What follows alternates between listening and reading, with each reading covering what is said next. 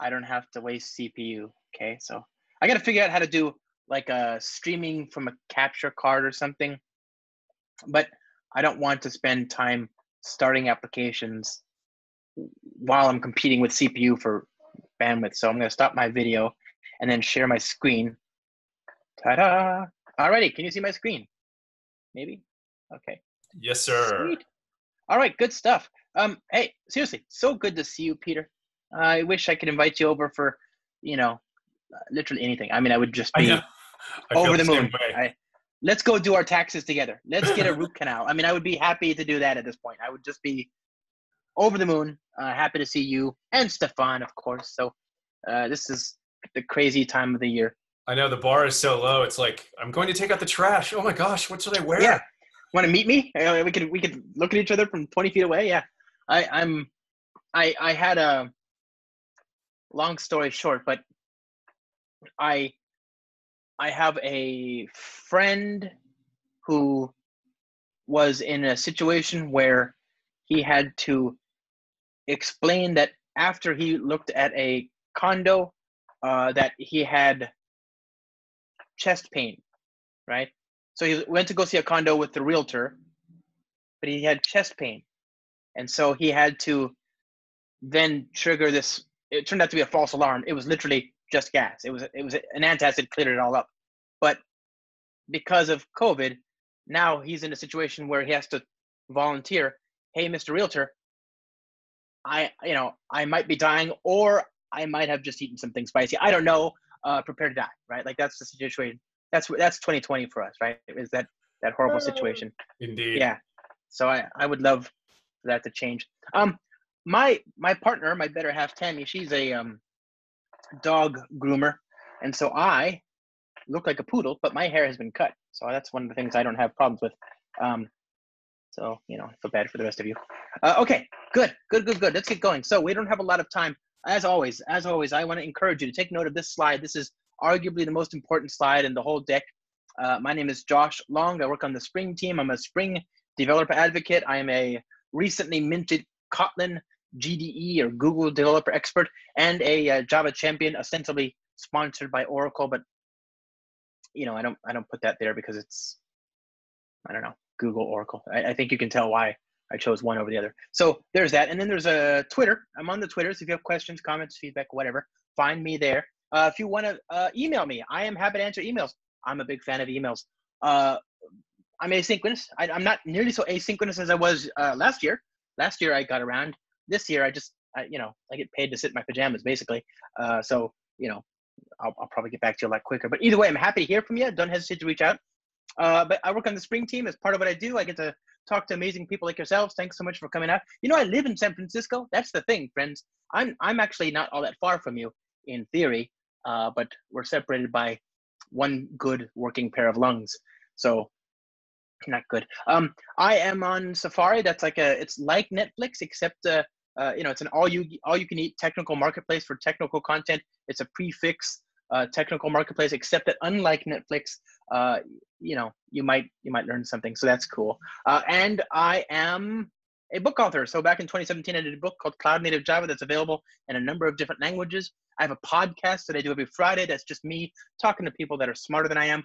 Eh, it's a low low bar, so that's uh that's nice. Uh, Stefan, I think was on the show. Yeah, he was on the show uh, uh a year ago or something like that. So if you want to hear from a really really smart person, go go listen to that one.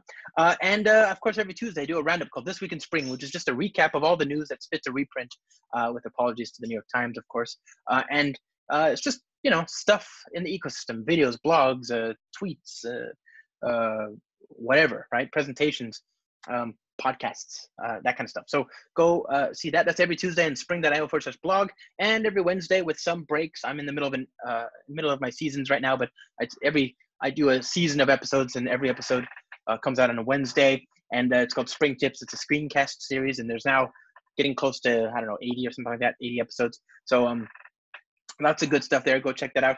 And of course, I have a book on which I'm working uh, right now. It's called Reactive Spring, and Reactive Spring is a uh, book all about how to build reactive applications. You can buy the book now. You can read it right now. It's not yet done though. When it is done, you'll get the final edition if you buy it now uh, and it's almost done. I, I, think I've got three more chapters to do uh, thereabouts, and i have just been dragging my feet on that, and I'll get to it. But um, either way, the book is in working order. It's uh, it's mostly there right now, uh, and maybe you don't need it. Heck, uh, we're going to talk about reactive Spring tonight. We're going to talk about what it is to build reactive Spring-based applications uh, tonight. So maybe, just maybe, you don't need it. Okay, so let's talk about reactive applications and reactive programming. Uh, it, first of all, some motivation, some context. Why do we care about reactive programming? We care about it because we want to be able to write software that takes better advantage of the resources that we have in our system, and we want a programming model that allows us to more, uh, more robustly, more safely build uh, services that do network interactions, or at least interactions, right? Any kind of interaction. I want to have a, a better way of saying, hey, that's not going to work. I want to handle the failure uh, accordingly.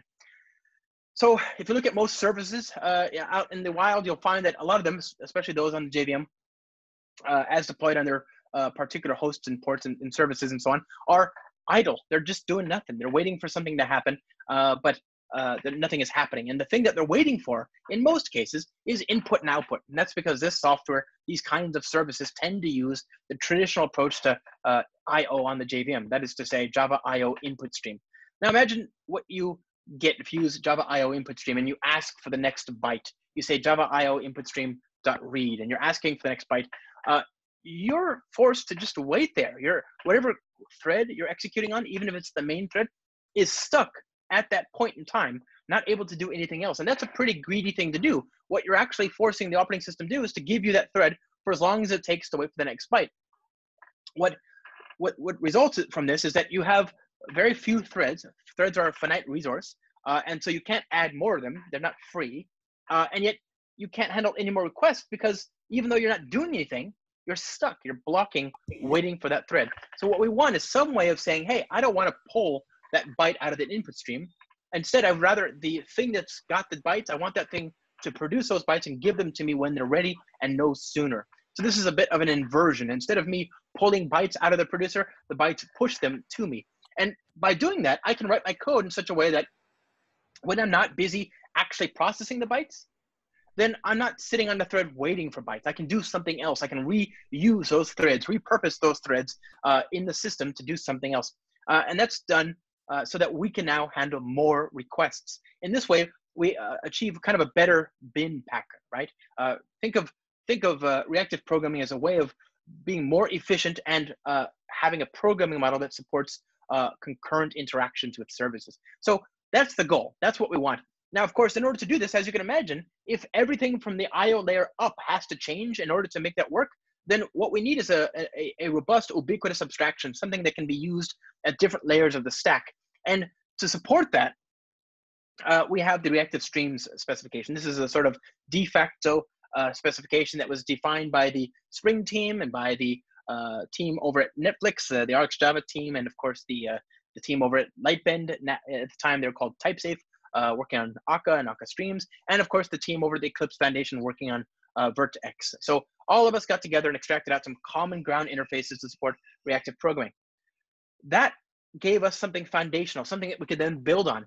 That has then since been incorporated into Spring. And that, my friends, is the journey that we're going to see today. That's the journey that we're going to take today. And we're going to do that by building new software uh, by going to start.spring.io. Now, start.spring.io is, as always, my second favorite place on the internet. Uh, uh, maybe, maybe my third uh, at this point because I've been checking that COVID nineteen counter a lot. You know, so. But other than that, maybe it's it's possibly my still my second. So I'm going to build a new service here, and I'm going to use a I'm going to use a Apache Maven. That's fine. You can use Gradle. I'm going to use Java, just fine, and I'm going to use Spring Boot 2.3 X. It doesn't matter which 2.3, but I quite like 2.3. There are a couple of features. There are several features uh, that are really, really, really, really compelling in Spring Boot uh, 2.3.0. Uh, one of them that I like, or actually several of them that I like, are very well explained by this video by the one, the only, and the inimitable Phil Webb. That's Spring Boot co-founder Phil Webb. I'm not gonna.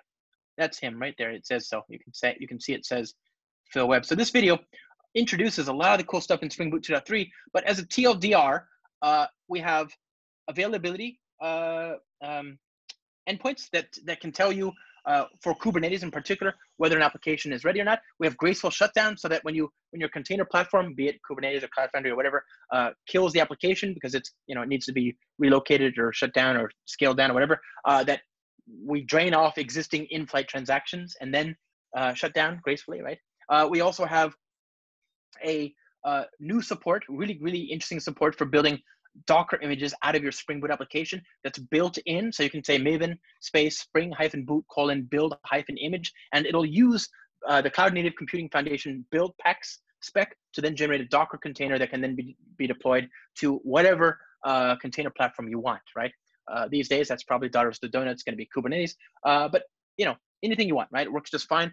Um, or you can even have you can even customize the build, and instead of us doing everything for you, you can explicitly say, hey, I know that Spring Boot's Maven plugin is going to have an awareness of the libraries that are used for your Spring Boot application, and it's going to have an awareness of the application code, that is to say, the few class files that you have changed from one application to another, from one run of the application to another, and it's going to have an awareness of all the other stuff, the optional dependencies, etc. So if it knows all that, then couldn't it then just separate them into Docker layers for me? And you can actually configure it not only to do that, but in what order and how to do that. And you can actually carve out custom layers and so on. So it's a very, really, really fully, um, you know, fleshed out uh, feature there.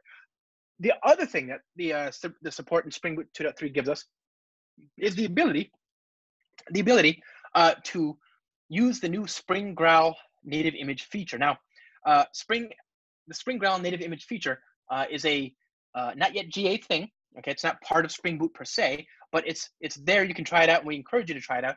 I did a Spring Tips video on this right around the same day. Actually, I, I clicked off of the Spring.io first this video before I had the chance to show you the other video that came after the good Phil Webb's uh, video, and that's this one right here. That's just me looking at Spring and Graal VM Part Two. I actually did one of these way back in March or April, and that has since been ob- uh, made obsolete by this uh, by the incredible strides that we've taken in the more recent months or so. So uh, I, I'm not going to show you all of that, but I will show you the code. And the only thing you need to keep in mind here, friends, is that Graal, when I say Graal and Graal VM, I'm referring to uh, not the hotspot replacement, right? Not the just-in-time compiler uh, replacement from that's that's actually called Graal. That's from Oracle Labs.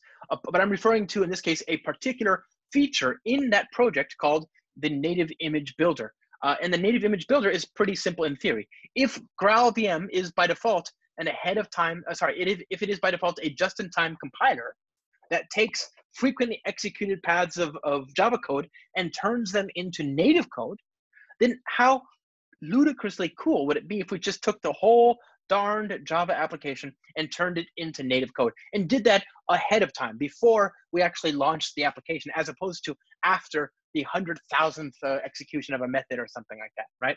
So that's a very that's the idea in theory, and it's super nice in theory. But it turns out uh, there's all sorts of things that the Graal native image builder hates. It hates so much stuff, my friends. It really is hateful. It hates uh, anything dynamic, any any kind of trickiness. Think of all the things that you would love to do in C++.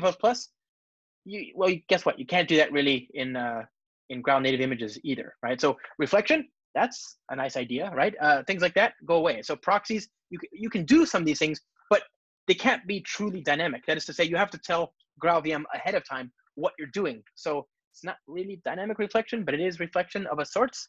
Um, and if you're willing to do that, if you're willing to feed it all that information, it can uh, take your JVM jar application and create a, a native architecture specific uh, machine image, uh, an actual binary that only runs on the, uh, on the platform to which you've targeted it.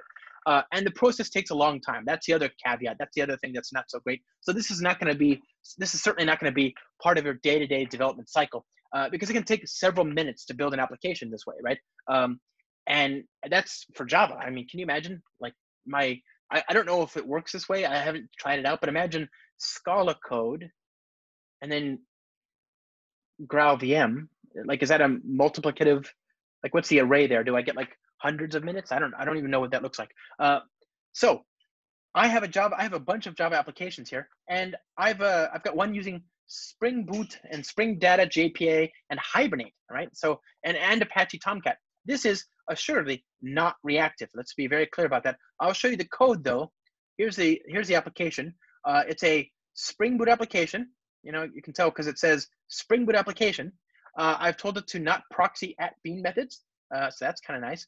I've had to exclude one auto configuration class. That should be a bug that won't need to persist.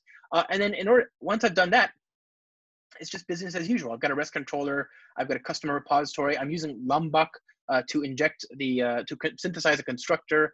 Uh, I'm returning the data from a repository. I've got an initializer that's going to start and just log some records into the database, uh, you know, to save them into the database. And then I've got my Spring Data JPA repository and my Spring Data JPA Hibernate entity. Uh, so I've got entity, right? And it's at ID and at generated value. These are all JPA annotations. All of that is pretty stock standard kind of stuff. Uh, what I had to do that's a little different is remember no dynamic behavior. So while Spring is doing the right thing here, in this case, we had to we had to cajole uh, Hibernate to do the right thing a little bit here. So we we um, customized Hibernate's build, and this is a feature, right? This is a thing you can do in Hibernate, so it's, it wasn't that hard. All we had to do was tell it to build the enhanced entities ahead of time, right? There's a plugin that they provide that does that for you. So uh, all this does is it takes the entities, and instead of creating proxies at runtime, all that stuff gets built into the code at build time, uh, which means that then that coupled with what we're doing behind the scenes with our Spring Graal native feature uh, was enough. Oh, oh, oh, sorry, no, that's not true. We also had to help tell Hibernate not to do it at runtime. So it doesn't know at runtime that we've already done it at build time. So we have to be very explicit about it with that one little property there. But once that's done, this application, uh, and this is by far the slowest application of the three I'm going to show you. Once that's done, well, this application uh, it flies, right? No, you don't you don't sleep on hibernate if you get the joke. So target, and here's the JVM application. Okay, so I'm going to talk to. By the way, this is a little bit slower than it would normally be because I'm starting up H2 in memory on my local machine. So that's 4.2 seconds. That's the JVM application. That's not uh, uh, Graal. Okay. Oh, and also I'm I'm screencasting. I'm I'm recording my screen so that you know discount uh, a little bit from that as well. Here we go. Native image, JPA, and go. So that was uh, 0.2 seconds. Okay, to get that up and running. 0.21. Let's round up and do 0.22, and if you include the JVM time. So that was the same application, localhost uh, customers. There you go. Uh, so that's working. And if I control C, there you go. It doesn't work, right? So that's that endpoint. Now I've got a Mongo application, MongoDB. So this is Apache Tomcat again, not reactive. It's a servlet-based stack. It's a uh, you know venerable, tried and true, but it is still among the embedded uh, web servers uh, that we have. It's one of the slower ones, right? So I've got that, and it's MongoDB, uh, Java minus jar target uh, MongoDB application. Okay, good. So that's up in 2.4 seconds. So a good deal faster using just Spring Data. This is again not reactive. Spring Data MongoDB, a uh, good deal faster than what I had before. But now target native uh, MongoDB, and voila, that's 0.131 seconds. Again, considerably faster, right? 0.1, not 0.1 seconds. And then finally, uh, my reactive one. This is we're gonna write code. we're gonna write code that looks more or less like this one. Uh, so target native image, uh, reactive. Oh, sorry, Java minus jar, target uh, reactive. Okay, and there's the application. 2.6 seconds. That doesn't seem right at all. Let's see. 2. Point, okay. What is that? Yeah, well, okay. So 2.5 seconds for the JVM. As you're going to see tonight, things run much faster in the IDE. Uh, so, and by the way, that's another feature that's in 2.3 it can actually unpack the uh, jar for you in the container, so it'll start up that much faster. Uh, okay, so target native image uh, reactive. Uh, ta-da! 0.1 seconds, right? 0.12 seconds in this case. Not bad, huh? Um, so we have uh, some work to be done. I'm not saying this is all perfect yet, but I'm saying I was able to compile all of those without any fiddling with configuration. It was just the same exact compile that sh. I use that same script for all three of them. Uh, and the only changes are, you know, you can see for yourself. The only changes are that exclude attribute thing and the proxy bean methods equals uh, false. Okay. Now that's these are all neither here nor there. I just wanted to show you that Spring Boot 2.3 is awesome. It opens up a whole world of stuff. And the other big feature in Spring Boot 2.3 is that the next release of Spring Boot will be in six months. So uh, while I love 2.3, I cannot wait for 2.4. You know why? Because it's coming really, really soon. It's uh, we're already what a month away since 2.3 came out. So I suspect within five months we'll be talking about 2.4, which is nice. And then six months after that, uh, 2.5, etc., or whatever, whatever the next thing is. So 2.3, we're going to use Lombok. We're going to use the reactive web support. We're going to use RSocket. We're going to use Spring Security. We're going to use uh, MongoDB. We're going to use Postgres. We're going to use um, R2DBC. Okay, so now I've got a whole bunch of different reactive things there. Obviously, uh, I'm happy with these choices. Then we have the choice of which version of Java going to use. Uh, here, my friends, you have before you three different choices. But again, keep in mind, these aren't actually choices. These are things that you see on the screen, of which only two are actually choices, Java 14 and Java 11. Java 11 is the current long-term supported version of Java. That's a safe, if cowardly, place to park your application if you want to right now. It's the current long-term supported version of Java, so it'll be okay. That said, the current version of Java is Java 14. You can't use Java 11 without saying it's the old or non-current supported version of Java. You have to qualify it. That should tell you something. The current version of Java is Java 14. However, that won't be the current version of Java for very long. In another six months, we'll have another version of Java. So uh, if you are on a cloud platform, it should be trivial to conveyor belt your code from one version of the JVM to another. Uh, but if not, I understand why you would seek refuge in the uh, warm and comfortable uh, embrace of Java 11. But you should definitely not use Java 8. Java 8 is the old version of Java. It's no longer the current or even long-term supported ver version of Java. It is technically inferior in every way. It has less syntax, less language features, less performance, less uh, robustness, less security, less everything. Java 14 is better technically in every way. It's also better morally, my friends. It's better as a moral choice. Are you prepared to have that discussion with your family when they ask you why you're still using Java 8 in production. I don't think you are. I don't think you're going to be uh, happy with that experience. So avoid it at all costs. Now, I'm going to generate my project here, and I'm going to open this up in my IDE, and it's just a very simple, trivial application. And we don't have that long, so I'm not going to spend too much stuff here, too much time on the basics. I'm not sure when the last time I would have seen you all was, but uh, I probably talked about MongoDB. So we're going to build an application that writes data to the database. Uh, as always, I'm going to comment out some of the bits that I don't need just yet. pom.xml. Alrighty. Now, here we go. Now we're going to uh, comment out the stuff we don't need just yet. So MongoDB, uh, we're going to, sorry, R2BC, goodbye. Uh, did I choose Postgres? Yeah, I did. I'm going to keep Postgres, but I'm going to comment out the dependency. Here we are. And I'm going to comment out security for just a moment. Don't tell anybody I said that. Famous last words. Okay, so there we go. I'm left with now just MongoDB and RSocket and Spring Webflux. Okay, so now I'm going to build an application. And the application is going to save data into the database. And I use that term charitably here. I'm going to create an object of type reservation. I'm going to save it to my database. It's going to have a, a document key and a name. Uh, and of course, this is a document, so I want to annotate as such using MongoDB's uh, document annotation, Spring Data MongoDB's document annotation. I'm going to create a, consider, a constructor, a getter, setter, two string, etc. Uh, obviously, Java 14 has a preview feature for records, which I think is super cool. You should check that out. And then I'm going to save the records to the database, creating a reservation uh, repository. Now, this repository is an interface.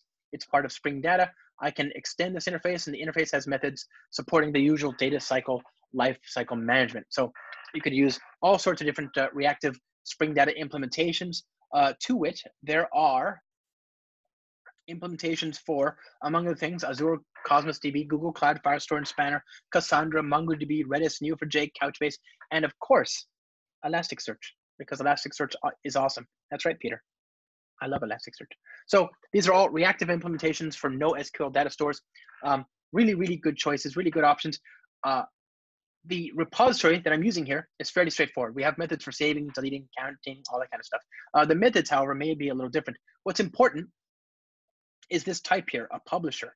A publisher is a producer of data. It publishes data asynchronously out of band to a subscriber. The subscriber consumes each new record uh, uh, when the data is published. If there are any errors, it's consumed in the on error method. And when you're done processing the data, the on complete method is called. Now, when the subscriber first subscribes to the publisher, it is given in reference to a subscription. And this subscription is arguably the most important part here. This subscription is what they, the uh, subscriber can use to ask the publisher to slow down.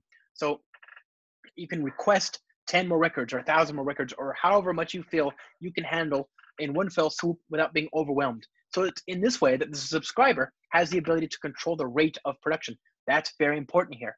The subscriber controls the cadence at which it consumes the data and therefore can't be overwhelmed, or at least in theory, it shouldn't be overwhelmed, right? Uh, if the subscriber wants to cancel the rate of production or stop the production, it can call cancel. This is not a, uh, on one hand, this is not a controversial idea, right? Ever since we had one computer on the same network as another, we've had flow control. That's what this is. It's just basic flow control. On the other hand, this flow control uh, has sometimes been rebranded uh, by marketing folks as uh, uh, back pressure. So when you hear the term back pressure, just think, hey, this thing I've been able to do at the low levels of TCP and UDP for you know 70 years, uh, I can do now here, or well, not 70 years, but decades, many, many, many, many decades. Okay. Now, uh, those types are super super useful, and they make up three fourths of the um, the reactive streams specification. There's a fourth type here called a processor, and a processor is a subscriber and a publisher. It's a bridge, it's a source and a sink, and that's it. That's the entire reactive stream specification. Useful though those types are, I think we can all agree they're a little bit Spartan, and that's okay because the different projects have come up with specialized specialized approaches that uh, support more useful usage of those types. Uh, Project Reactor, which my friend Stefan was uh, one of the founders of, supports two specializations.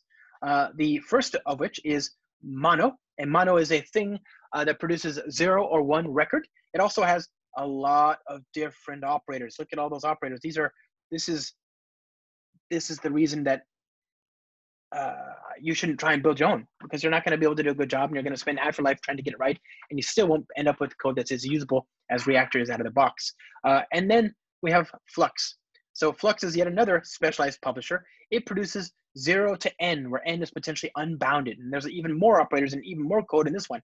Uh, lots of stuff. Things like map and flat map and filter and so on. So now i've got my repository. I've got this these types from uh, project reactor. It's worth noting that those reactive streams types are so useful, so useful that they have since been incorporated into the JDK. So if you go to Java util you'll see Java util concurrent flow publisher, subscriber, subscription, and of course, uh, publisher and processor, right? So all that's now in the JDK itself, and these, these things can be uh, used interchangeably. There's an adapter type. Now, I want to save some sample data into the database. Okay, like so. I'm going to create a Spring Bean application ready event class and public void go good. Now I've got my types, I've got my method here. It's just a regular Spring Bean. And all I'm gonna do is when the application starts up, I'm gonna inject my reservation repository and I'm going to uh, inject that into the constructor there. So I'll say uh, flux.just Peter, and I've got uh, Stefan with an accent, and I've got, uh, who else is on the Spring team? Madhura, she's awesome, and Violetta, and she's awesome. We've got Olga, awesome as well. Uh, Yuxin, she's awesome as well. I'm on the spring team. I forgot about myself. Ah, and the great legendary Dr. Syer. Okay, so now we've got some names. These are people on the spring team. I'm going to visit each one of these names and write it out uh, to a database, to the database. But in order to do that, I need to take each new reservation and call reservation repository at save. Now, here, I'm going to pass in this thing I've created. Now, the reason I'm calling flat map is because the result of save is actually a publisher. It's a mono of reservation. And so what I would actually get if I did map is I would get a publisher of publisher. I'd get a flux of mono of reservation, like so, right? That's a publisher within a publisher. I need to unpack or flatten the intermediate uh, reactive types, quite like the curve. So I'm going to flatten it by using flat map, okay? Now that gives me a stream of records that have been saved to the database. And again, I could chain these things together. I all too often do, in fact. I just think it's useful for our uh, didactic purposes to kind of tease them apart into separate stages. Now, if I were to run this code right now, nothing would happen. The reason nothing would happen is because I haven't subscribed. I need to say names.subscribe. I could use the consumer there. But even here, while I'm happy with that, consider what would happen if I left this code unchecked. If I ran it the first time, I would have eight records in the database. The second time, I would have uh, 16 and then 24 and so on. So what I want to do is I want to first delete everything. I'll de delete all. And then I want to make sure that after this is finished deleting everything asynchronously at a future point, after all that is done, then and only then do I want to run this pipeline here. And then and only then do I want to actually ask the uh, the repository for all the other records that are left. And then and only then do I want to print out the records like so. Okay, so this gives us a, uh, a deterministic behavior. I can delete everything, then write the data to the database, then find all the data, and then log it out. So let's go ahead and restart the application and confirm that that works.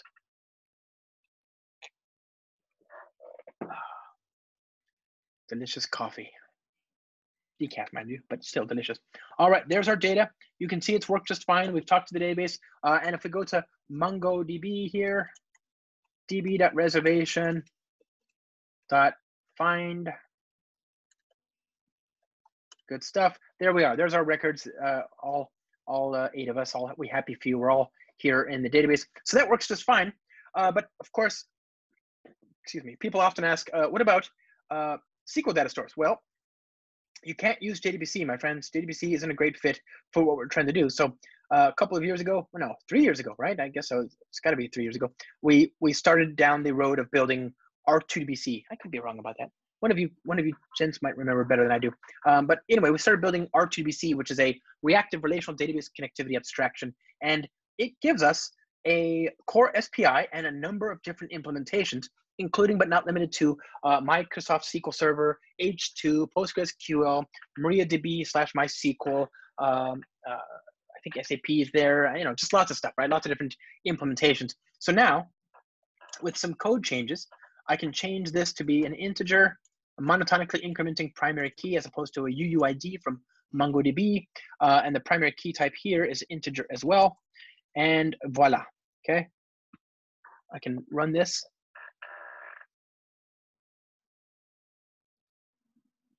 uh, and it's complaining I don't have a URL. So I'm going to plug that in, spring.datasource.url, uh, an R2DBC URL. Okay, so R2DBC, Postgres, localhost orders, and the username, orders, password, orders. Okay, so there's the rewritten application. Don't tell anybody about my um my uh, connection string, please. I it's a secret. R2DBC. Okay, you need to do that right. And we're live. Good. So there's the data.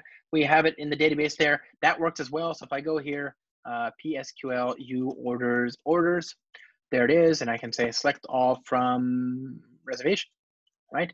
And there we are. Okay. So there's the records that we've written to the database, uh, in both using SQL and NoSQL.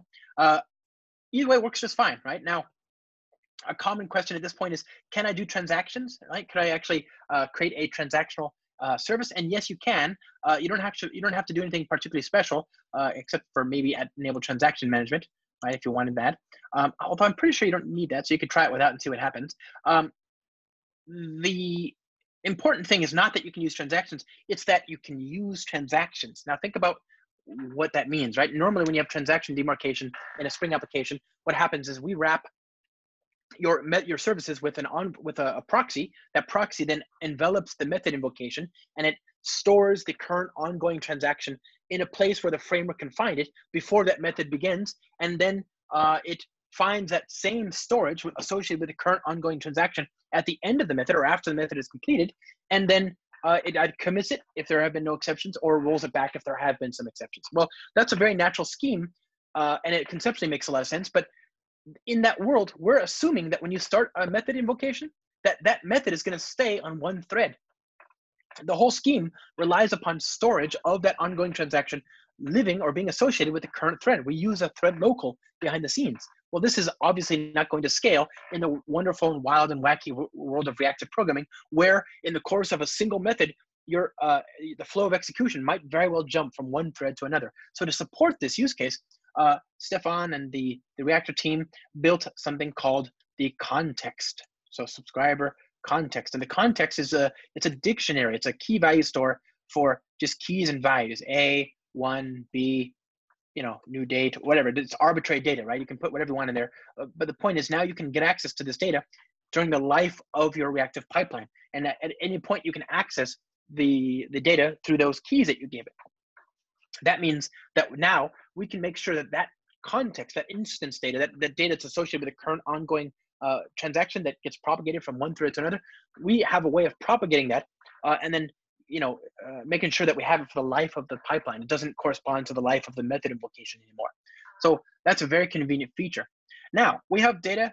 We have data in the uh, uh, database. We've looked at SQL NoSQL. We looked at Reactor. We looked at uh, basic Spring data usage. Let's build an HTTP endpoint. And of course, here I could use a reservation REST controller, right? This is a very natural sort of use case here, obviously. Uh, I could do that. And I could uh, create an endpoint at git mapping forward slash reservations and a publisher of reservation like so and just return this dot reservation positive find all and there you go bob's your uncle i have a REST controller that said uh, this is the spring mvc style right this is very familiar i think if you've ever used spring mvc but consider what i'm trying to do i'm trying to return uh, a reactive stream of reservations given an http get request to forward slash reservations and given that's my use case that seems a little verbose so these days a lot of times i'll just start with a new functional reactive style okay and that works like this. I just say route dot build dot get forward slash reservations. Okay, new reservations. Now here, I'm going to just have a lambda, and the lambda is just going to give me the response that I want. Okay, so server response dot okay dot body, and I'm going to use a collaborating object, my repository, to uh, inject or to rather to look up the data that I want. So here we are, reservation dot class Okay, so there's the entire pipeline. There's the entire thing. Turn that into a Lambda like so. Uh, use static imports like so. Maybe shorten that. And that's my new HTTP endpoint that does exactly the same thing as that 10-line REST controller did before. And it's a it's a it's a nice builder API. So I can chain these things uh, together to you know to whatever combination or effect I want. I can also use for loops and if and else and all that kind of stuff to dynamically register endpoints. So let's go ahead and restart that and see what we get. Okay, compiling, you can see that that's the hard part is, is the compilation. Starting up the application these days, not my problem, not a problem at all. curl application, localhost, 880 forward slash reservations. Okay, there's my JSON data, and there's my eight records in my SQL database. And I can hear you shrug, eh, so what? I could have done that yesterday. Why do I need uh, reactive Spring and reactive programming to do uh, what I could have trivially done yesterday using Apache Tomcat and Spring MVC as opposed to uh, Spring Webflux and uh, Netty, right? Um, or other way around, Netty and Spring uh, Webflux. Well, that's a great point. Fair point. What I'm trying to persuade you of, dear friends, not uh, is not that this is inherently uh, uh, that that this inherently opens up more features for you. That's not that is true, but it's not the thing I'm trying to persuade you of right now. We're going to talk about that in just a second. What I want you to see is that we've achieved parity you can do the things that you were doing yesterday with just as little code as you did it yesterday and with just as much ease as you did it yesterday. And actually, I would argue, even more simplicity than you would what you would have done yesterday. So let me get rid of this code here. This is a uh, an initializer that I'm going to use to write data to the database. You're not going to do that in production. You're not going to hard code eight records into production. So there's my real Spring application. That's the actual code that I care about right there. That's that's this thing here and what is that? You know, seven lines, five lines, uh, six, call it six, seven, eight, and then 9, 10, 11, 12, 13, 14, 15, 16, 17. 17 lines of code to build an application that talks to a SQL data store that uh, uh, has an HTTP endpoint and that does uh, that could, that could do transactions and so on. And that's not bad, right? That's that's really really really good. Um, so it's not more code in terms of lines of code. I think we can agree on that. Uh, but it's actually it's more profound than that. What I've shown you here is one kind of stuff, and that's where the reactive paradigm really comes into its own. So think about uh, how would you do WebSockets today, right? Uh, using non-reactive APIs. How would you do server sent events? How would you do Kafka? How would you do RabbitMQ? How would you do uh, you know an application JSON REST endpoint or an application XML REST endpoint, right? The APIs for all of these are different. They're different kinds of types, different APIs, different paradigms, all sorts of different ways, especially when it comes to the first several uh, technologies that I mentioned for describing things that produce values asynchronously, right? When you use reactive APIs, you've got one kind of stuff. Sure, the upfront cost of learning how to use reactive streams might be more if you've never used anything that that at first blush looks uh, vaguely functional, like the Java 8 Streams API if you've never used something like that, then of course, learning to use reactive streams will feel a little uh, like an uphill battle at first. I guarantee you uh, that that will quickly subside and amortized over all the possible applications of these reactive APIs, you're going to find that you've actually got much less to learn. Because if you want to do server sent events, or if you want to do WebSockets, if you want to use application JSON, or if you want to do XML, or if you want to do Kafka or RabbitMQ, or anything else in the in the reactive world, you just use a publisher. When you're not sure, you just use a publisher. It makes life considerably simpler. And this this consistency gives us a few other things. It gives us velocity, it gives us ease of understanding, and much more usefully, it gives us ease of composition. This is a critical ingredient in the microservices world where you want to take data and, and, and aggregate them or scatter gather them and, and, and orchestrate them in different ways. This is where reactive programming really comes into its wheelhouse. It doesn't hurt that these reactive types that we've just looked at are loaded, packed to the gills, brimming with operators that we can use to build more robust uh, calls to handle kind of uh, all sorts of different failure failure uh, points that we would otherwise have to manually uh, add other libraries to, to solve for, right?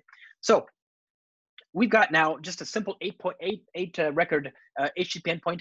Um, another thing where reactive programming really comes in to its own is where you're using it to do the kind of work that would have otherwise traditionally required you to keep a thread uh, dedicated to something. Okay, so okay, uh, anything that requires liveliness is a good example of this, right? Suppose you wanted to build a, a, uh, a stock ticker application or a chat application or or anything where you need fresh, lively data. We want the the freshness of the data to be guaranteed. In this scenario, you are going to want to make sure uh, that uh, you've got a socket uh, connected. You have, you've got a, a, a, socket connected to a server socket, and then you're constantly polling. You're constantly reading. You're saying server socket you're saying socket.read from the input stream, right? You're, you're, you're asking for the new data in the old world, but since you're using input stream, you have to keep a thread open. So of course you want scalability, but if you have this kind of architecture on the server side as well, that means that your service can only handle as many uh, clients as you can handle threads. And that, that number is very small compared to the number of file descriptors that your operating system can keep open and they can watch for you.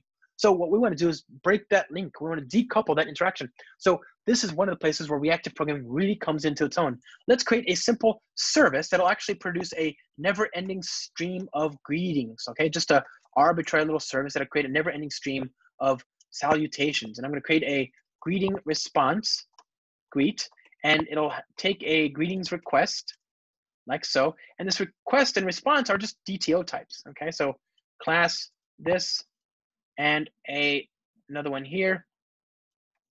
And here we go. So there's my types, okay? We're gonna have a, a response and the response will have a message and the request will have a name. And of course we need data at args, at no args constructor, at so on. Okay, these are just DTO types that we're gonna use uh, in our application. Good stuff. So now let's actually return a never-ending stream, publisher.from stream, stream.of, and I'm gonna provide a supplier and the supplier is just going to produce a never-ending stream of greetings responses. Okay, so uh, we're going to use uh, a a uh, greetings of some sort. So hello uh, request dot get name at instant dot now. Okay. Good. So there's my uh, never-ending stream. Now, of course, if I ran this code as is right now, it would very quickly scroll off the off the screen down to the floor and out the door. So what I want to do is I want to stagger uh, each record. I want to say delay the elements by let's say one second. That way we have a hope of being able to follow it as it moves uh, down the console. Now, in order to demonstrate this to you, I'm going to create a WebSocket service. So I'm going to create a greetings WebSocket configuration. And it's going to be a regular Spring configuration class. And we've got three things we need to make happen. We need to have a uh, mapping between the HTTP uh, server and the WebSocket protocol. So the WebSocket protocol, uh, you know, needs to be upgraded to uh, from the web from the HTTP endpoint. So I'm going to use uh, the WebSocket handler here, uh, handler, handler, and then I'm going to give it a, a, a, an ordering. Okay, so map of blah blah blah. Good. So that's all I'm doing is I'm mapping. I'm telling Spring WebFlux to upgrade to that endpoint.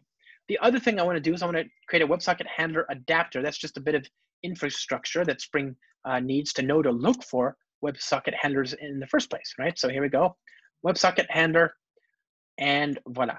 Okay, this is where the business logic actually happens. This is where the rubber meets the road. Is we're going to create a WebSocket handler, and in order to create that WebSocket handler, we're going to use the greeting service. Uh, the contract here is fairly straightforward. It's just a regular uh, HTTP session that gets created, or WebSocket session rather, and we can use the session to ask the server, the client rather, for any data that's coming in from the client. We're going to get the records, unpack the string of the payload, right?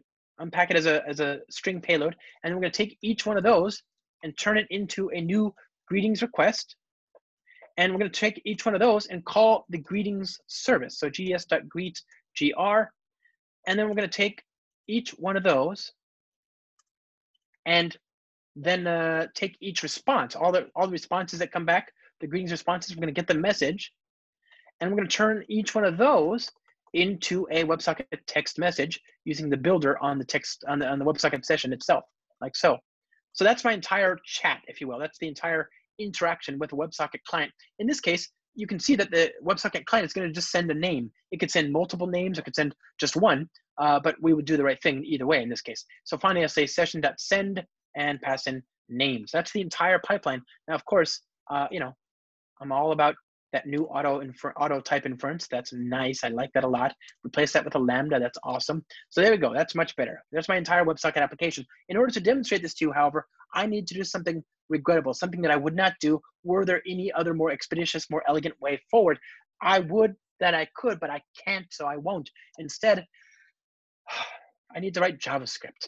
So I've got a static directory, and I'm going to add a file here called ws.html, HTML body script.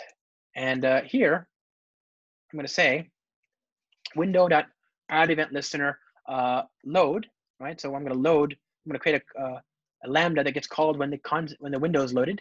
I'm going to create a new WebSocket object. What is a wave shaper? What? Okay, WebSocket ws localhost 8080 forward slash ws greetings and ws add event listener. So when the socket opens, I want to then um, send a name in, right? Any name, it doesn't matter. So we can say uh, SF jug, okay? And then add another listener, message, console.log, okay? So it'll be uh, message, message.data. Good stuff. So there's the entire thing, right? Now, let's go ahead and restart this and see what that looks like. Localhost ws.html. Okay, open the console there, and there you go, my friends. You can see it's producing data every second in perpetuity, and that's okay because in between the raindrops, it's not going to uh, keep that thread open. It's going to be repurposed for other things in the application. That's what we want. Is we want resource efficiency here. This gives us that. Okay, so uh, uh, reactive programming makes life simpler. It's a better programming model, but it's also a more efficient one here. The goal here is not that we get any single one transaction to go faster. Quite the contrary. There might paradoxically be just a tiny smidge of a bit of a delay because of the associated context switching. That said, we can handle many, many, many more transactions. That's the win here. That's the goal is to handle a lot more transactions with the same uh, resources, with the same infrastructure. So that done. We've got a service, and now I want to build something to talk to it. And you know, it could be another microservice, it could be an edge service, it could be whatever. I'm going to return back to start.spring.io. I'll use uh, that. I'm going to build a edge service here, and we're going to bring in Lombok. We're going to bring in RSocket. We're going to bring in uh, the reactive web support. Uh, and I think that's it. I think I'm happy. Oh, we want security. Surely, we want security as well. Uh, and I think I'm happy with my selections at this point. So we're going to build an edge service. Now, an edge service is typically just that. It's a service that actually, it's another HTTP API. It's another service, uh, and uh, it responds to uh, requests coming in from the outside world. And you could do all sorts of interesting patterns here. I'm not going to create another HTTP API. This will be this will mostly be a client to our service, but you can imagine this taking the place logically of an edge service. Now, in order for this to work, I need to start on some other port. I don't really care which because I'm not gonna I'm not gonna have an edge service itself. Uh, and there you go. There's our edge service. Now the application is going to act as a client. Okay, I'm going to act as a client uh, to talk to the uh, to the uh, service that we just created. Okay, so I'm going to create a HTTP client. Okay, return args, and it's going to be an application listener. G Okay, and when the application starts up, in order to do my work, I'm going to need a reactive non-blocking client. So I'm going to synthesize one here using the reactive uh, web client. Okay, this uh, web client comes from Spring Web Flux. It's a um, a non-blocking HTTP client. Now, keep in mind that WebFlux doesn't care what service it's talking to. It could be something in PHP or Node or Java, or it doesn't have to be reactive. It doesn't have to be Spring. It's just HTTP, right? So you can talk to anything you want. Uh, that said, on the client side, it's not going to waste resources. So I'm going to say get.uri HTTP localhost uh, and then 8080 forward slash reservations. Now, what I want to do is I want to take the data that's coming back from that JSON uh, feed and turn it into a reactive stream of reservations. So I'm going to go here and take the data, the reservation types, and then log them out. Okay. So I'm going to copy and paste. I'm going to do something terrible, something that you should never ever do ever when you're at home, all by yourself at home, and no one is looking. I am going to copy and paste. So here's this and that and that. I'll take all of this stuff, go back to my code base, my Edge code base here, and I've got them here uh, for as DTOs, if you will. And so now I can say I want the JSON to be turned into a stream of reservations. And here I could do all sorts of things. I could turn it into, I could adapt the view, right? Uh, I could just take the data and transform it as I want. Uh, and then when I'm finally done with it, I can subscribe and you know just print it out. So uh, system out print line and voila. Okay, there's my reactive HTTP invocation.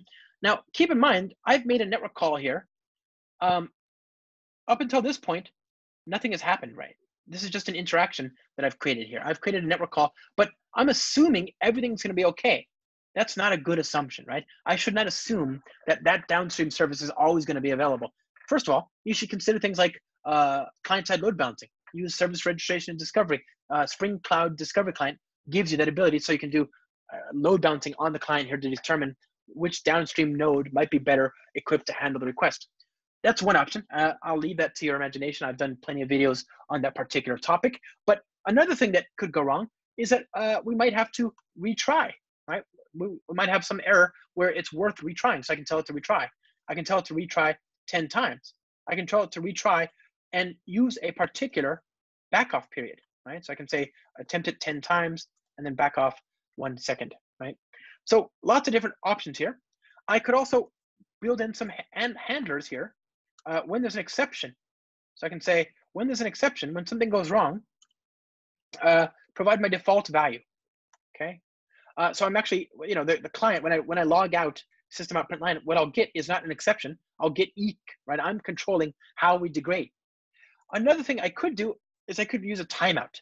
A timeout is an interesting option here, but the problem with the timeout is, uh, well, think about it, right? It's a very greedy pattern. It doesn't actually get us what we're trying to get here. What I want to do is I want to make a call to a downstream service, and I'm acting on behalf of my client, which has an SLA, right? I have an SLA that I've got to uh, comply with.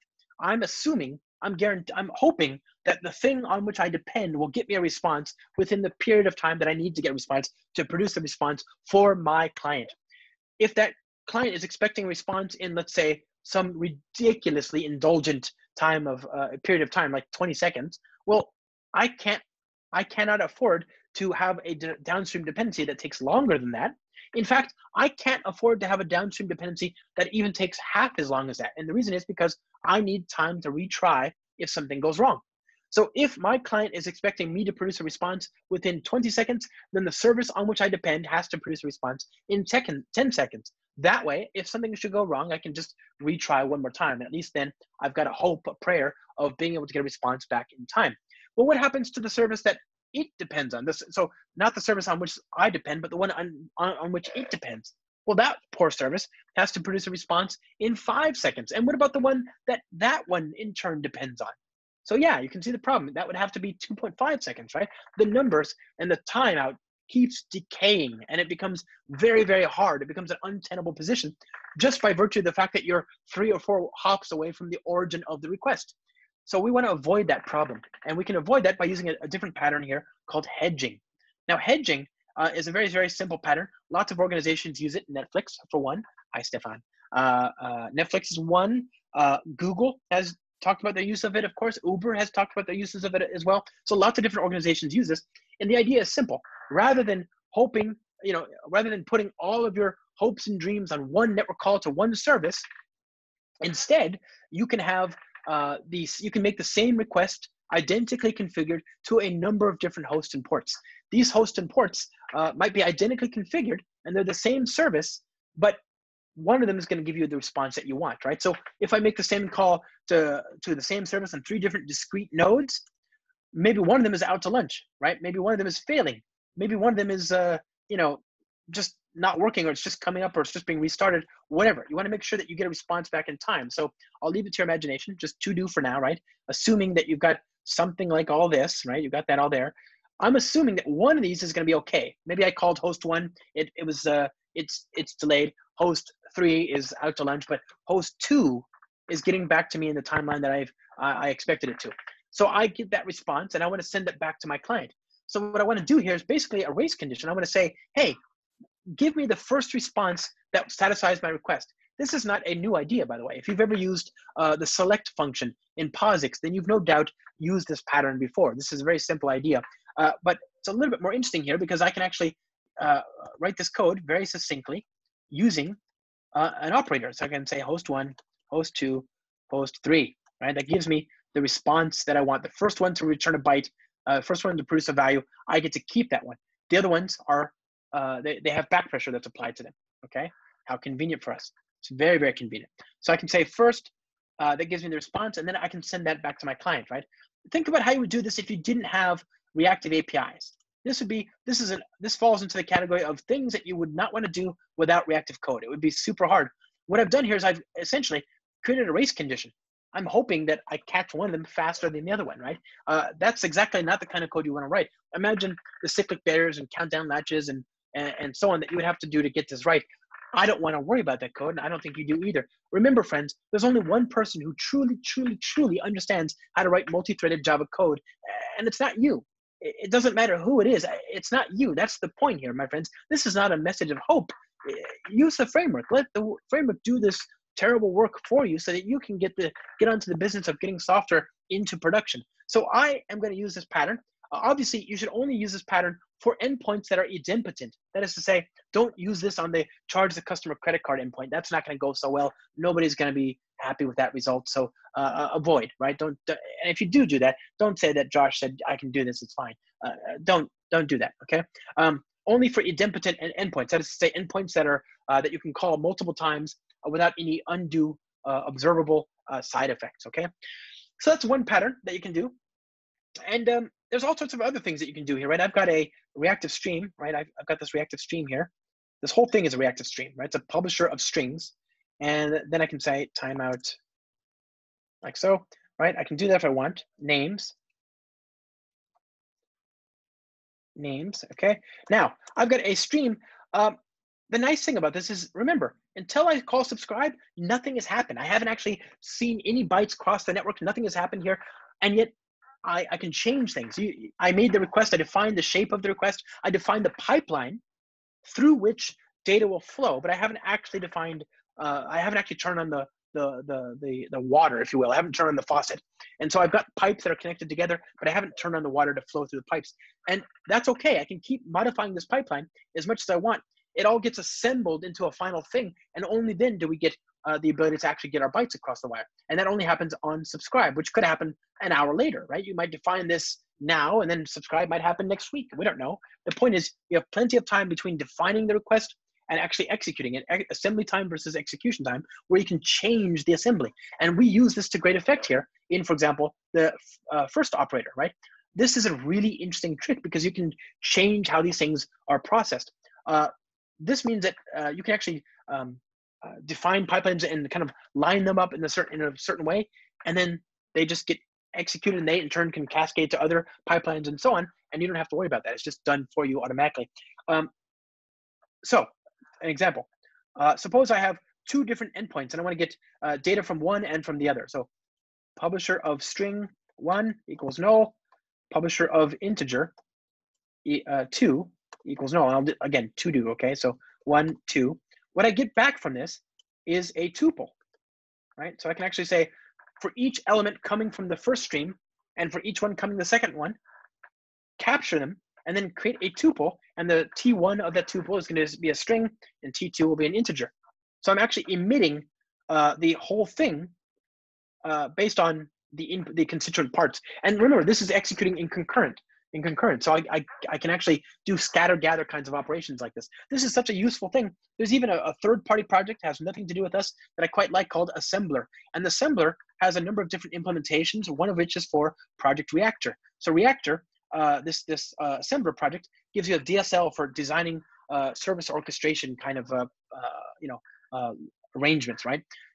You can create an assembler of a logical type. This is your type. It's not when it, when they say transaction, that's a bit of an unfortunate misnomer. It's not a framework class called transaction. It's your you know shopping cart order or line item or whatever you want, right? It's anything you want. And then you can say, I, I want to create an assembler of this, which has a number of relationships whose correlation key is the customer ID. And then I describe the one-to-one relationship by using the reactive stream, producing a billing info for customers, matching on billing info for customer ID, and I get the uh, one-to-many list using all the orders for customers, using the customer ID as the billing as, as correlation ID, and so on. Very very natural thing to do, very easy to do, uh, and it's also the most concurrent, most efficient thing to do. You don't have to write a single line of threading code to get that result. Okay, so I've got my reactive application. Uh, I've got my data in my, um, I've got the uh, data here. Let's log it out and see what we get. Now, Next, I'm going to want to create a. Uh, um, I, I like that I have HTTP, but what I want to do is I want to actually look at the results in a little bit more of an expected way. B name. Oh, I've got two. Uh, yeah, fair enough. HTTP client listener. Et voila.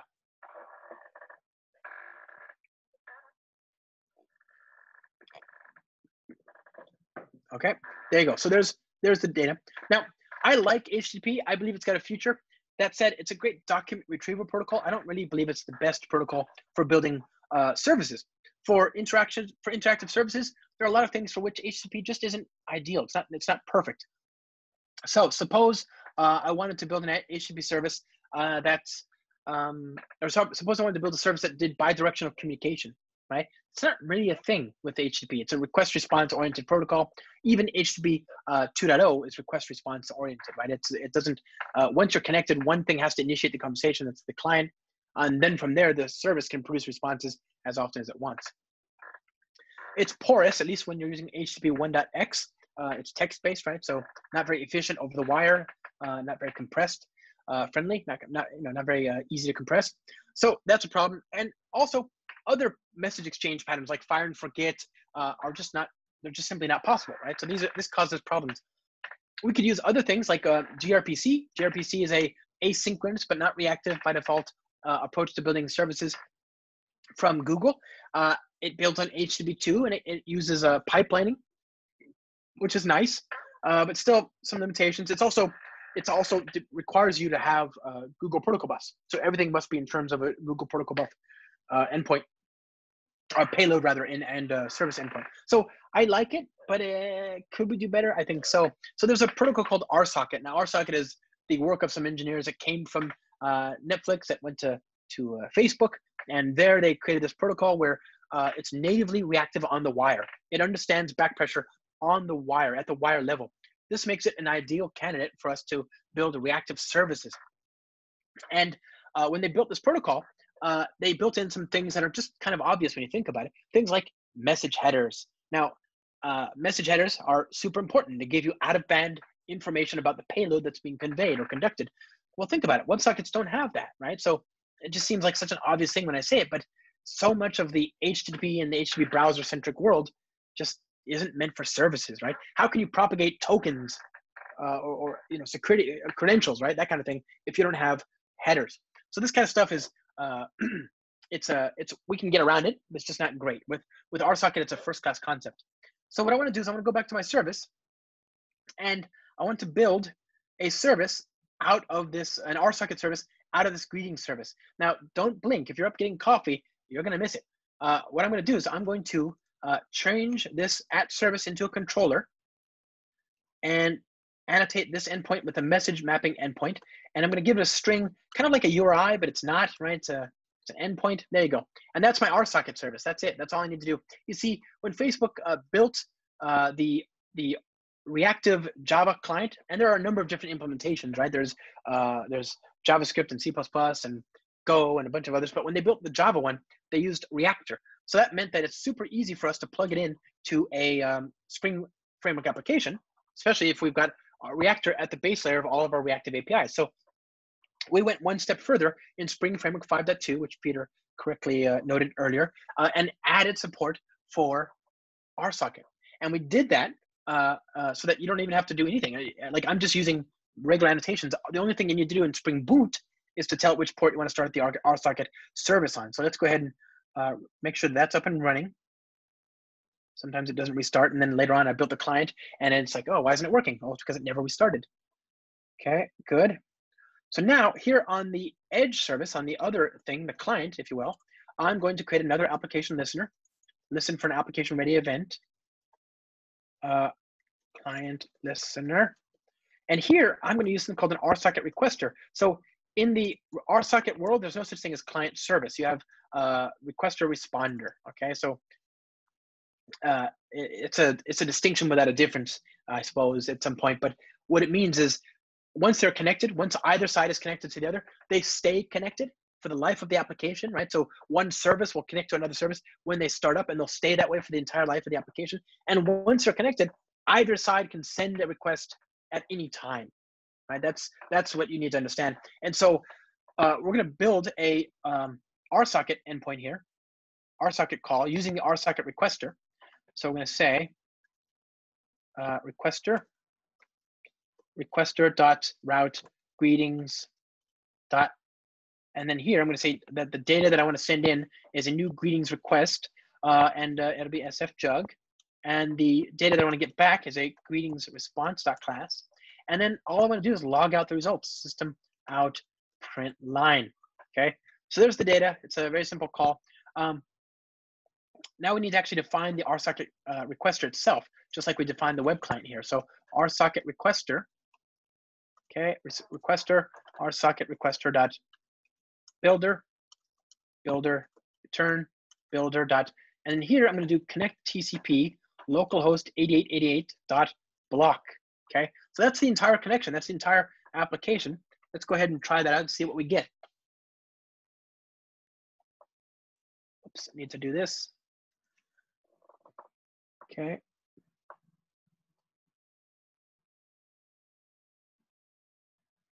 Cool. So there we go, my friends. Every second in perpetuity, forever, and ever and ever, you're going to see the results uh, trickle out on the console there. And that's okay. That's what we want, right? I'm actually reactively sending data from one node to another using RSocket. And I've also made a reactive HTTP client call. Now, keep in mind, with HTTP, we don't have true reactivity. The absolute best case scenario, if I have a reactive service uh, a reactive HTTP service and I have a client that disconnects, is that the reactive HTTP service perceives the disconnect and then applies back pressure to all the things that were upstream of it that were being used to produce a response for the HTTP client. But the client can't then resume. There's no way for it to come back an hour later and say, hey, I'd like to keep going. Let's pick off where we left off. You either get the data or you don't, right? You connect or you disconnect. Uh, uh, there's no way to do that. It's not truly reactive on the wire, right? With RSocket, that's not true. I can actually just not request any more data. I'm still connected. And if I want to come back an hour later, I can try again. I can resume. I can keep that context.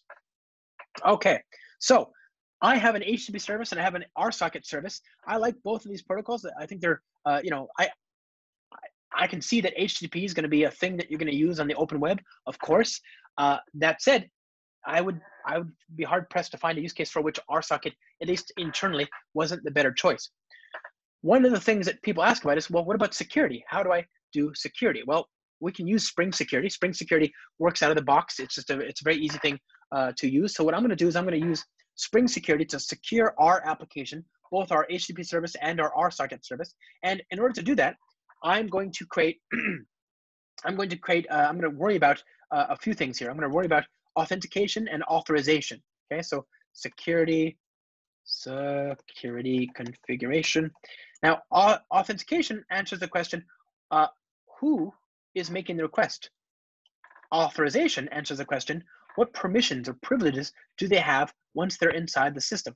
Okay, so uh, I'm gonna unlock my dependencies here. Okay, good.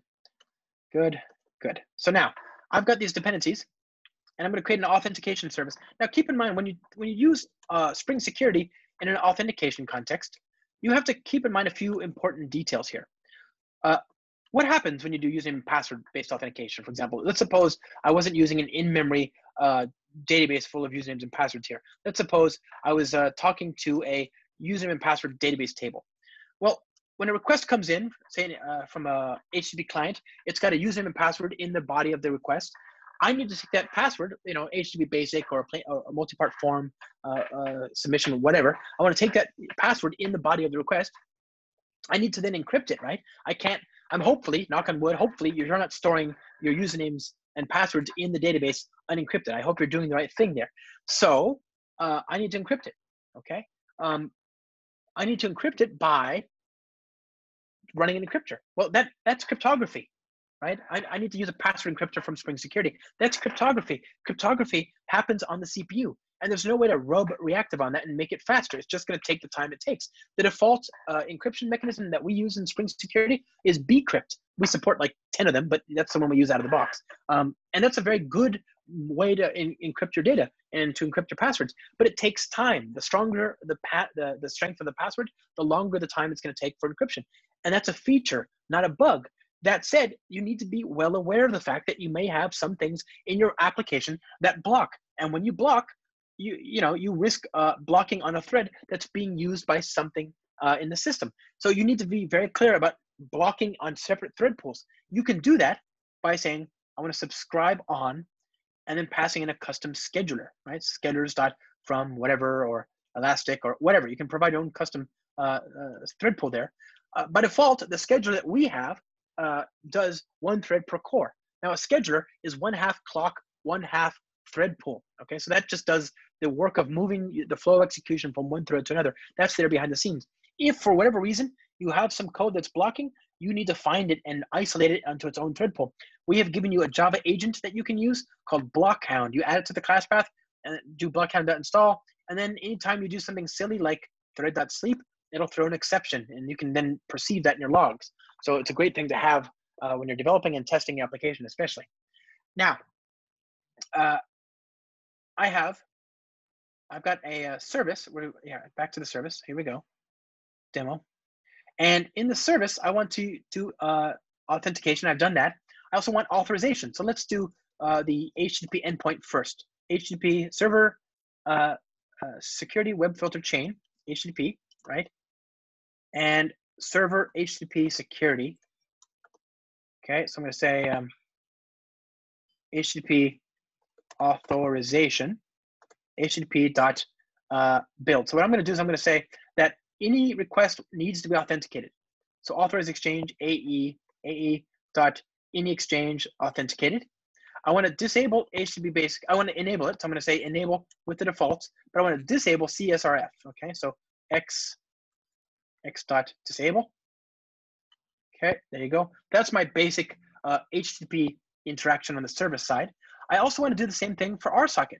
Okay, so here I'm going to use the uh, payload socket acceptor interceptor.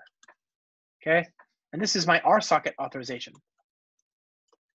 RSocket authorization. And the names, I want to remind you, are utterly and completely arbitrary. Okay, RSocket uh, security, RSocket, RSocket, okay? So I'm gonna say return RSocket dot uh, build authorize payload AP, AP dot in exchange authenticated. Uh, I'm going to then, I think I'm gonna leave everything as is, right? Oh, I want simple authentication as well. I'm gonna enable that. That's kind of like HTTP basic. And by the way, there's support for JOT, JWT, for both RSocket and for HTTP. So you can do, uh, there's a endpoint. Is it up here? JOT. Oh, OAuth. You do the OAuth bit there, right? So you have support for uh, JOT. You have support for tokens, uh, token-based authentication in both. So that's the authorization. Now that said, I also want to change my code a little bit because I'm going to have that authenticated principal that's going to come in. And I want to be able to use that. So I'm going to enable uh, uh, the ability of the, I'm, I'm going to enable a part of the programming model uh, by registering an RSocket message handler. Okay, so RSocket message handler. And this RSocket message handler is going to rely on the RSocket strategies. Okay. So I'll say return strategies. And here, var mh equals new RSocket message handler, mh.get argument resolver, add new uh, authentication. There you go. And mh dot um, set RSocket strategy equals strategies and return mh. Okay, so that's the RSocket message handler. and then with that done, with that done, I can now go back to my uh, RSocket code here in the service. Where did I put it? It's uh, here somewhere, surely. There you go. I can change this code. I'm going to change this a little bit so that instead of taking a greetings request, I'll take an authenticated user. So the name will come from the authenticated principal uh, instead of the um, the uh, payload of the body. Okay, so authenticated principal, mono of user details. Okay, user. And this will go up here and return uh, user dot map ud ud dot get name and then I'm going to take that name, turn it into a new greetings request. Okay, passing that in. I'm going to call it flat map uh, gr. I'm going to call this dot greet gr. Okay, so there's the entire thing. Oh, what is this? That's where the confusion lays. Good. Map. Did I do something wrong? So let's see, I've got a map. What does that give me here? Map gives me a mon, oh, okay, yeah, it's flat map many, I want that. Flat map many, greetings request. Uh, and then I'm gonna call this dot greet gr. What's the issue with that one? Oh, response. I'm getting a, a stream of greetings response, of course. Okay, there you go. There's the entire pipeline. That can be this, like so and this can be that. Very good. Okay, so there's now my authenticated endpoint, right? I'm actually injecting the authenticated principal. Uh, with that, I can restart the service. Let's make sure it's restarted. Sometimes it doesn't, you can see it's stuck here. Restart. Okay, now on the client side, I wanna authenticate. So for the HTTP side, that's pretty easy. Uh, say private final string user equals JLong private final string PW equals PW. And I'm going to uh, create a few things that I need. I need a MIME type.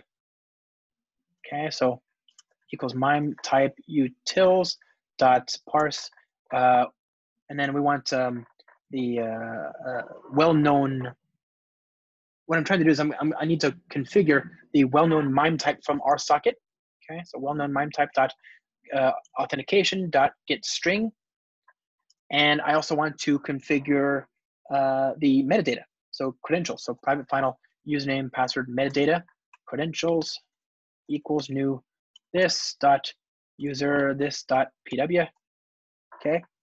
Um, and that's it. That's the, uh, the variables I need. Now I can actually use that uh, to configure a few things. For HTTP, couldn't be simpler. I'm going to configure a filter, exchange filter functions, dot okay dot basic authentication this dot user this dot password and then for RSocket, i need to configure uh, the security at one of two places or both it doesn't really matter i can configure uh, the security either when the, the socket is first established right so set up metadata and that's uh, the uh, the credentials and the mime type right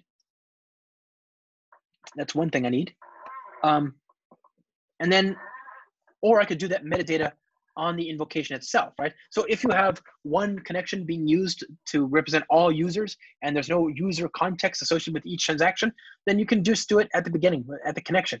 On the other hand, if you're doing it, if you have multiple users that are using the same socket, uh, then you want to actually customize it. You want to send the data there uh, accordingly. So this dot credentials uh, and this dot mime type, right? Same idea. So it's setup metadata versus metadata, but either way, you're fine. You're welcome to do that. The only other thing we need is we need to customize how we're encoding uh, our, our, our security here, right? our uh, simple uh, security. So I need to create a RSocket strategies customizer. I'm going to customize the RSocket strategies themselves, uh, and that'll in turn, um, you know, that'll in turn give me the opportunity to uh, plug in a custom encoder. So strategies.encoder, new simple authentication encoder. Okay, so now I think that's it, my friends. I think we've got everything we need. Let's go ahead and give it a shot, huh?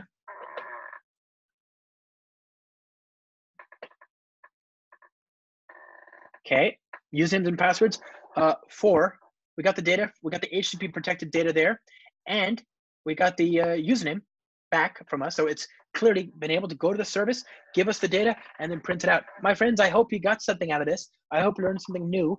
I'm happy to answer questions now. We we've only covered just a little bit. I wish we had more time. Obviously, if we had more time, we could have talked about Spring Cloud Gateway. If we had more time, we could have talked about um, uh, Kafka and messaging. If we had more time, we could have talked about the support and for RSocket and for reactive publishing and Spring integration. If we had more time, my friends, we'd talk about so much more, but I'm afraid we're just about out of time.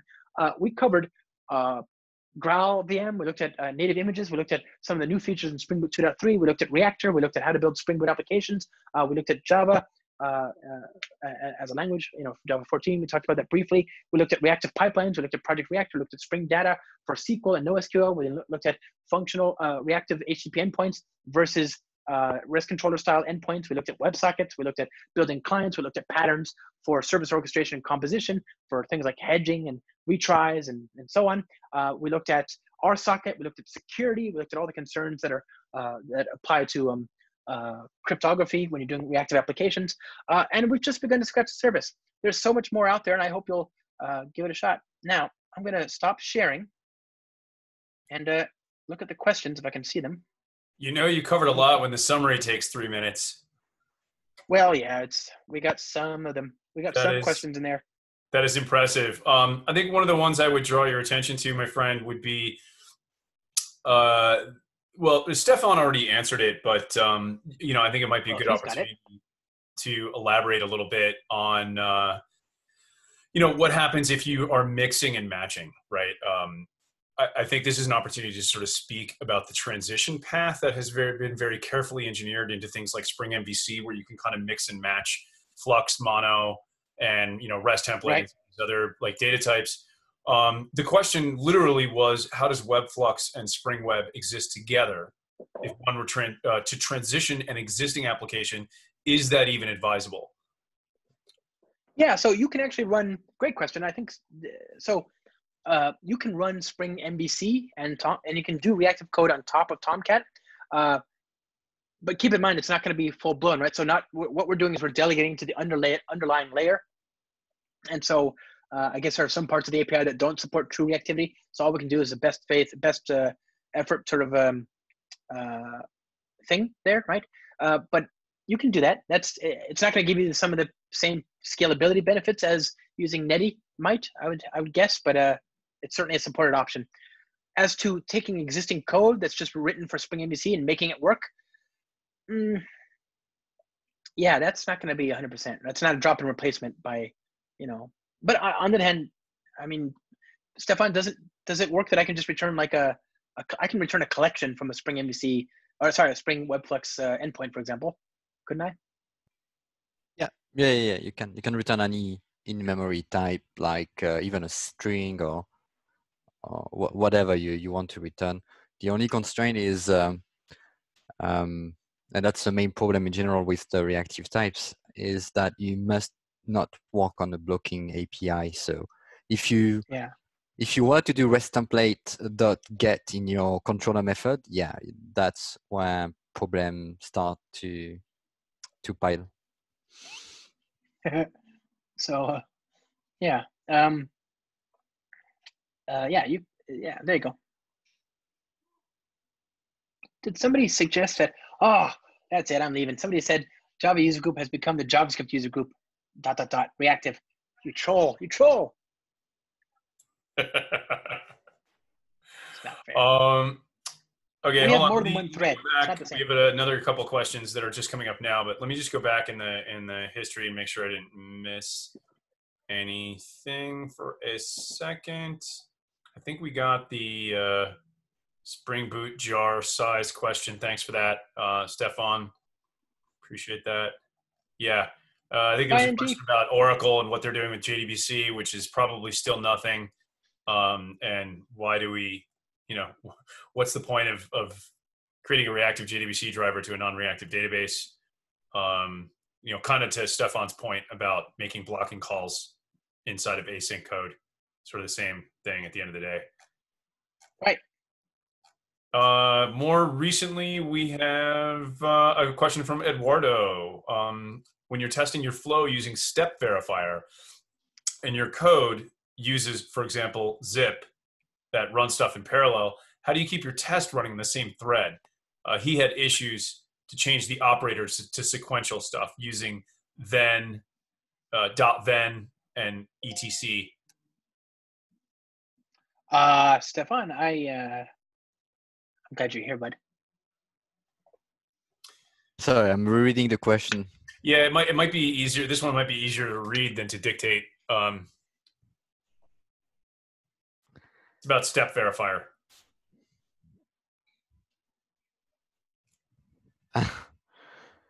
Uh, that feels like um, very specific. I think the best place to answer this kind of question, um, if I may share a link or two, one is uh, Gitter chat. So if you go to gitter.im slash reactor slash reactor like this, um, you will be you will find uh, more than 1,000 people uh, around uh, talking about Reactor. So uh, that's the community chat we have for the, the reactive stuff. Um, I know there are issues about running stuff in parallel with Step Verifier, but uh, I don't know. I need to um, I need to see actual code, and I think uh, writing code on Zoom is not going to cut it. It's not yeah. the best UI ever let's say. but hey, got another good question from Prashant. Um, so he says, when fibers become a real thing, has work already begun, begun in Reactive Spring Team to support that, or is it a completely different approach to code? Is fibers some native threads thing redone again? Still, like what is? I haven't heard of fibers, but it sounds suspiciously like native threads. It's suspiciously, uh, uh, it's actually the the name for uh, Project Loom and what's coming in uh, maybe Java 17. Oh, got it. Oh, Pro- Loom. Yeah, yeah. Okay, got it. It got a new name while I wasn't looking. Cheers. And uh, to answer that question, I, it's funny because I had, uh, well, we regularly have this question. Uh, I had this discussion this morning with another big user of reactive stuff, um, PayPal, and they um, so the answer to uh, what's going to come with Project Loom.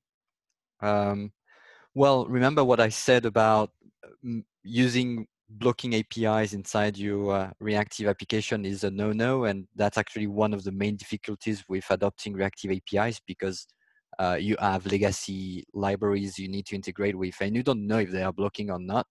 Uh, we have a tool for uh, you to help detecting this thing. It's called Blockhound, but in general, it's just a pain in, in the ass um, to integrate these uh, legacy libraries. Well, with Project Loom, it's not going to be a pain as much because supposedly um, calls like socket.read, uh, input stream, file API, all of these uh, blocking calls in terms of uh, uh, coding the system stack and, and you know, doing IO work and this kind of thing, um, blocking the actual thread they're going to be non-blocking. They're going to suspend the thread and and they're going to be wake waken only woken when they um, when the, the the IO has finished processing whatever it was uh, going to do. So Project Loom is going to be very uh, cool to to work with in the future. There's no specific work we need to to to do, uh, but running on a you know Java 17 when it's going to get out if it's uh, coming with Java 17. Um, I think it's um, yeah, it's a good combination with uh, what we have. If you want to take a, a, good comparison point, look at what they've did they've done on Kotlin and with coroutines. So Kotlin came with coroutines. It's great. Uh, you do a lot of stuff already with them, but that didn't prevent them to create a functional API, um, kind of like stream uh, or flux. And they called it flow because if you want to work on a collection of data, um, it still seems to have a lot of benefit to use a functional API and, and you know, instead of using the nested kind of uh, uh, Russian doll of I do a for inside I do a if inside I do a, a, a transformation. I prefer to uh, reason my code, my concurrent code in, in terms of step, like what Josh um, showed earlier. So there is a lot of um, things to say about uh, functional API. And the last thing I would say about Project Loom, um, Project Loom doesn't solve everything. So one thing is uh, how do you cancel uh, asynchronous task? Well, with uh, Reactor, we've seen that there, there is a protocol behind where you can call sub, um, a subscription.cancel. Obviously, with the API we provide, you can do things like, uh, hey, let me take the, the free first element, and then after that, I will cancel my uh, whatever I was doing, uh, the, the flux I was consuming. This kind of um, primitives don't come with uh, um, Project Loom. So there is there will still be a need to to to use kind of a higher level of abstraction on top of it. But I'm really looking forward to uh, um, Project Loom in, in general to actually ease the adoption of uh, reactive stuff. Yet there may be a last um, benefit I, I can, kind of see, um, especially for future version of Reactor and, and Webflux, might be to um, it might be possible with Project Loom to reduce the stack traces, which is famously known to be kind of long um, in functional programming.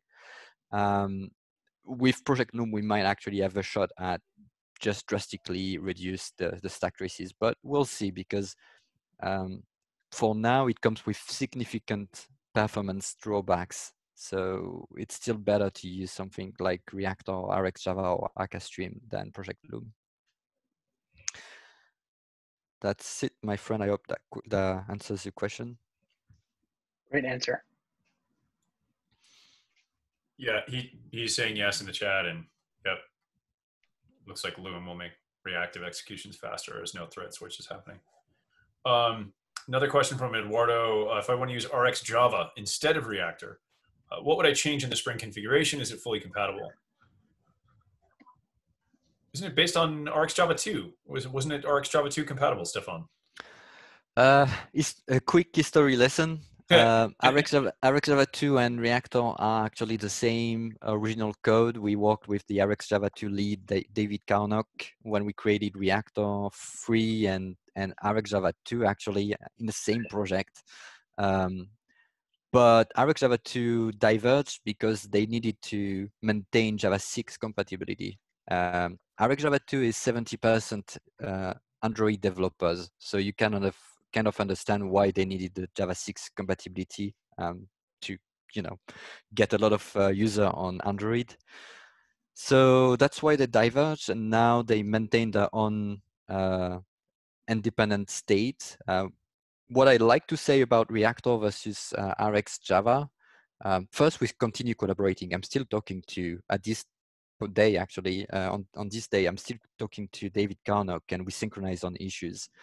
Um, but what i like to say about reactor is it's kind of the enterprise rx java. We have added um, you know non-functional requirements like insight uh, logging the subscriber context thing um, that's that's necessary if you want to do like uh, security and uh, tracing and this kind of thing the non-functional requirements things that you don't need necessarily when you write an Android application reacting to reacting to events and, and doing your UI stuff, but that you need when you write a Spring backend service, um, basically. So that's the route uh, Reactor is going, and RxJava is is still innovating on a lot of things, but it's not going the route of uh, you know providing this extra stuff. Some say enterprisey stuff, but I think it's just uh, you know backend kind of uh, stuff, you know. Um, and I didn't answer the, the question actually, which is, uh, are they compatible? Um, yes, they are, because they implement the same type, uh, the same reactive streams type coming with the reactive streams jar. It's called publisher. So uh, for instance, in RxJava, you do a flat map uh, with Flowable, and inside you have to return a publisher. Well, you can return flux.just. It's it's combining all together. That's the the mega point, the meta point of uh, uh, having a specification. You could even do that with Akka streams, for instance, or other implementer of uh, reactive streams. I am going to. There was a question that was asked to me privately, but I'm going to repeat it because it is the uh, an elephant in the room. Um, thank you, Alan. I hope I'm saying your name correctly. Uh, I got a question basically saying, "Hey, I'm using database Wumpty Wump in his case or her case, uh, InfluxDB. Uh, you know, does Spring Boot provide a reactive way to get the data?" And I think um, I think the answer is that uh, R2DBC, you know, will meet if you provide if that database vendor provides a, a reactive Java driver um, you can you should be able to plug that into R2 DBC, which I believe would have Spring Boot support. Um, I don't know what the requirements for the driver are. Maybe Stefan or Josh can speak to that a little bit, but I think that's the sort of you know uh, snap together model you know that you would that you would be looking at. So uh, just to uh, uh just to clear a confusion about R2 DBC, it's only about uh, plugging into SQL backends.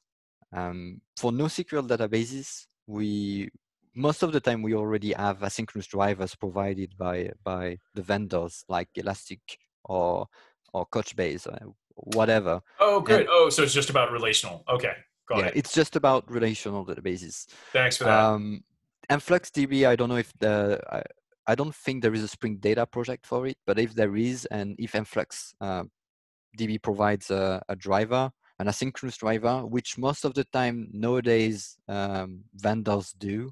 Uh, it's only a, it's more the minority nowadays, and relational databases that don't that prov- not providing that are not providing um, um, an asynchronous driver. But if they do, it's easy to plug in uh, Reactor in that case. Yeah, he mentioned uh, InfluxDB was you know had a um, beta version uh, reactive driver. So if, if they do have a reactive driver though, to get to it through Spring Boot, there would need to be Spring Data repository support for it, or they would have to use the straight JDBC calls directly. Question mark. Well, I'm I'm not too familiar with uh, uh, how you consume InfluxDB on in Java. I don't think you use JDBC drivers at all in that case. And just they probably have their own API. Um, yeah. Spring. I don't think there is a oh, there might actually be a they might have a Spring Boot de- a recommended dependency on on things with InfluxDB because there is a micrometer support for that. Um, okay. So so they might have some something, but I'm not familiar enough to to say yeah, they, yeah. they have a okay, project no for that. I, I don't think there's a, a. I'm checking right now, real quick, but I don't think there's a Spring Data uh, InfluxDB. Uh, I'm just checking real quick. Um, a good example. It is, it's a community project um, and not supported by the main line. Um, yeah, uh, looks like there's some open source out there, maybe. I mean, if, if it supports asynchronous I/O, it can be made to work with reactive. It's just I don't yeah. know if it's done already. Yeah, it doesn't look like it. I'm just uh, triple checking the um, Spring Data like sort of manifest, as it were. Um, I don't see a community project listed for it. Uh, to be honest, yeah, no, I'm not seeing that. So it's not part of the um, it's not part of the core release train for Spring Data, nor is it a um, community project that that the Spring team is willing to sort of you know. So there is, course, but well, we we do have a, a, micrometer binding for it, so you can talk to InfluxDB from uh, our observability right. stuff, right? right? But that's not reactive. I'm just it's not a data store. If anyway, we don't need to get wrapped. We don't need to get wrapped around the axle on this one specific example. I think the uh, I think that the general sort of view of the industry and where they are with reactive drivers and how that relates to R2DBC slash Spring Boot is really the sort of meta question. Um, mm-hmm. cool. Yeah. And it also seems like InfluxDB provides a RxJava 2 driver. So there you go. It's pretty easy to plug in uh, yeah, he said it was uh, in beta, uh, in, in, beta version or something. He said for version two, I think. But anyway, Uh, mm-hmm. Jeff Williams asks, uh, Josh, have you used the Salesforce reactive gRPC? Yikes! Yeah, this, that's it's based on Reactor. They did a talk uh, at SpringOne too. That's really? Did they? Yeah. That's interesting. Yeah, that's cool. Yeah, that's based on uh, Reactor, Project Reactor. So that's an option, but there's still the fundamental limitations of gRPC itself that get in the way. It's not just the um, uh, the lack of a driver. Although with that, there, and by the way, what that is, it's a Protoc compiler plugin. So it's basically a plugin for the compiler that turns your service definitions into Java classes. And instead of turning them into asynchronous completion stage based services, it turns it into reactor based services. Got it. Uh, so that's kind of interesting. That that's nice, you know. His his questions his question was kind of like about how it compares to RSocket, but not like the protocol, uh, more the yeah. development model and uh, programming model about using them with Webflux and Reactor. Um, if you've happened to use it, it. So the result from that is you get a class that returns publishers, and so you can use that from you can just import that. You can add it to the class path of your code and just use it like anything else. But it's not going to be you generate the services from the service service IDL. You create a gRPC uh, service definition file, and that gets code generated into Java code, as opposed to what I just did here, where I just wrote the Java code, and it was far less convoluted. You know. The, uh, if I may uh, add on on yeah. the, the, the question um, on how does it compare to RSocket in terms of experience, um, the Spring team has built uh, a full vertical experience around RSocket. So you have security, you have uh, insights, you have uh, Webflux with a specific companion object like uh, RSocket requester, RSocket um, receiver. So a bunch of yeah. things built on top of that. And the reason is that um, RSocket is much less opinionated. It's pretty bare bone compared to uh, gRPC, which is um, very high level. Uh, in, if you compare the level of abstraction, gRPC is more like out of the box working and providing a lot of things and even a programming model, which is um, this product thing where you generate your stuff. It's contract driven and that's it. RSocket is not contract driven. You can make it, uh, but it's not. It's message based, and uh, because of that, it's much easier for Spring to. It was more natural for Spring to build on top of that. That and the fact that obviously there is some history um, between this project and, and Reactor. Um, so what I want to say is, as of now, in, developer experience is much uh, better with uh, Spring and RSocket.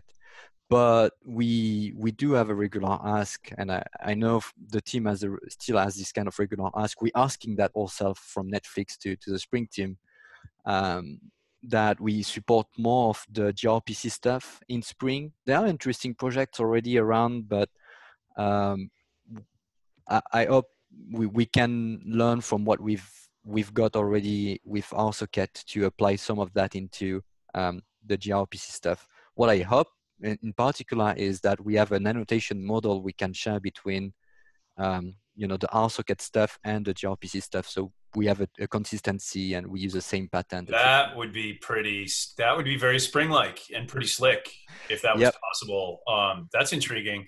It would uh, just uh, actually for my own edification, if you wouldn't mind uh, me wedging in one question myself. Um, what, what are some of the greatest? If you could give me like a very brief summary, not a super detailed answer, but just you know, what are some of the highlights in your opinion about you know the protocol comparison? Because you know, on the face of what you just said, right? I think many developers would choose a higher level programming model unless they absolutely needed the you know the knobs and dials that that are, that are available at a lower level. Uh, so given that, you know, what is there something sort of that makes it a little more worth it, you know, at the protocol level with RSocket versus what's you know what's the trade off for that the lower level programming model? That's a good good question. I think um, uh, the the lower level of programming model gives you so much opportunities to plug in um, the protocol wherever you want. So gRPC is tied to HTTP2. Uh, you, you can have bridges with uh, WebSocket, but it, it was designed to be associated with HTTP2.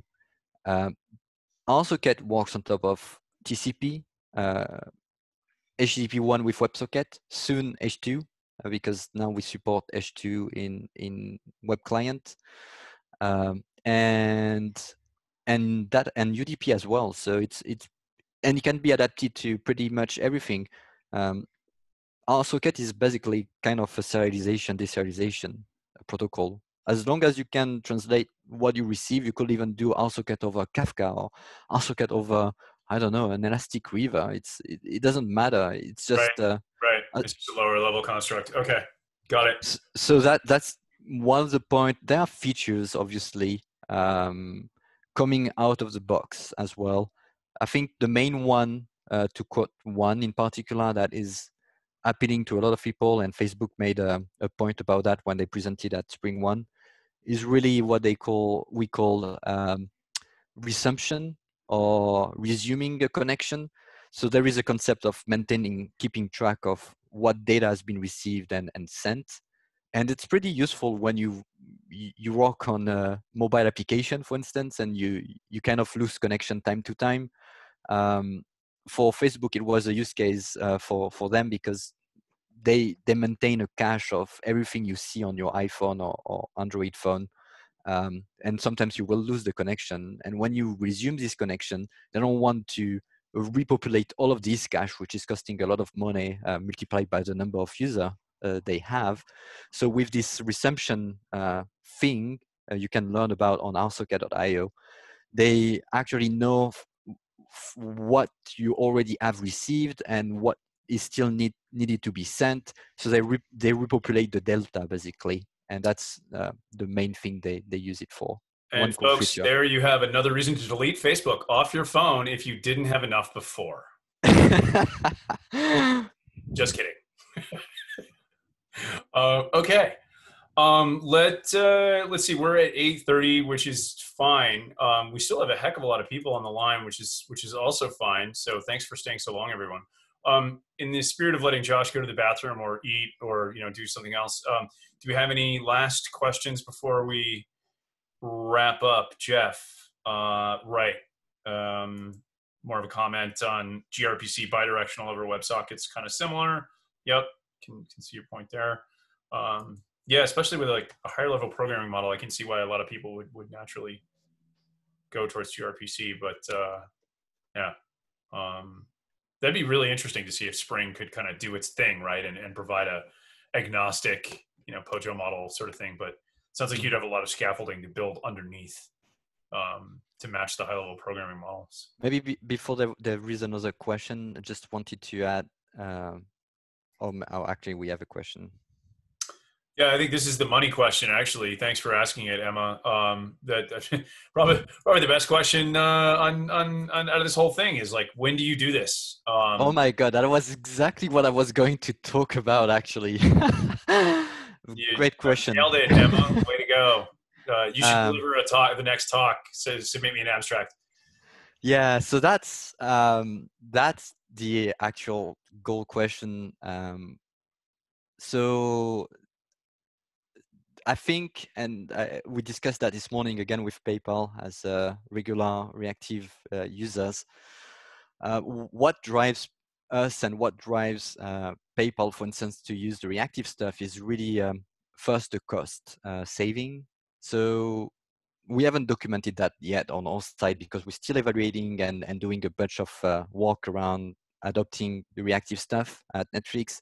But the on the PayPal side, they pretty much advanced. They have like a year or two advance on on this uh, road to transition to reactive, and they documented they saved uh, an XXX amount of money. uh, I can't really uh, probably document here, but they they have a significant cost saving, um, and and that's probably the one thing that keeps uh, coming back to to to to people. Uh, with with the reactive stack in general you're not making things faster but you're running things with less.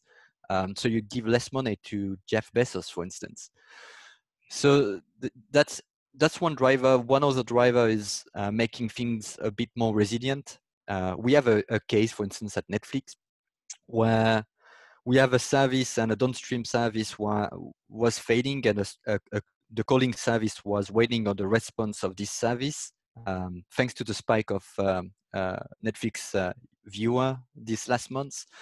And the problem is we were waiting for an answer from this remote service and we were holding onto resources um, because we were using a blocking client on this service. So we changed that and we have redesigned and, and we, we have rethought that to use a non-blocking client, something like web client from Webflux, to make sure that we don't have this, this kind of situation uh, anymore. But that's really a, a resiliency play as well. So making things more resilient and making things run for less are probably the main two drivers. Um, yeah. Yeah, I couldn't couldn't have said it better the last thing I would say, some sometimes people will like functional programming at some point, and I swear yep. it doesn't look like that when you're learning or starting, but because the the the learning curve is like, phew, but at the end, you know, it's kind of plateauing. And when you're at the plateau at the top, and you know it's you look easy. at the other people uh, out there and you say, "Hey, I, I I'm telling you, it's it's getting better at the end." Um, it it really is.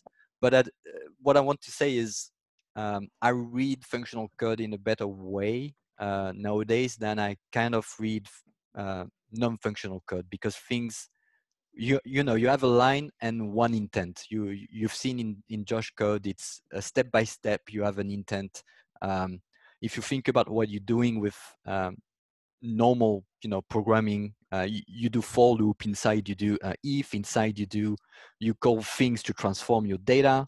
Um, it, it's all the time a kind of nested uh, you know a, a russian doll of things. And if you mix that with the need of making code concurrent that that's pretty much um, very difficult to maintain. So i find uh, even if people starting say the opposite i find that at some point it's easier to maintain this kind of code uh, it's more scalable um, than you know regular programming not to say we don't need both. Um, I'm I'm never going. It's still today. Uh, I'm I'm not going to advocate that everyone should do reactive stuff.